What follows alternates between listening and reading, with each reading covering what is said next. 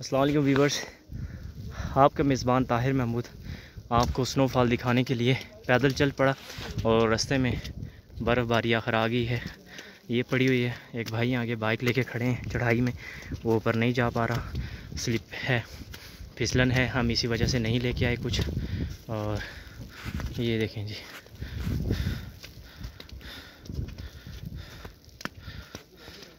तो एक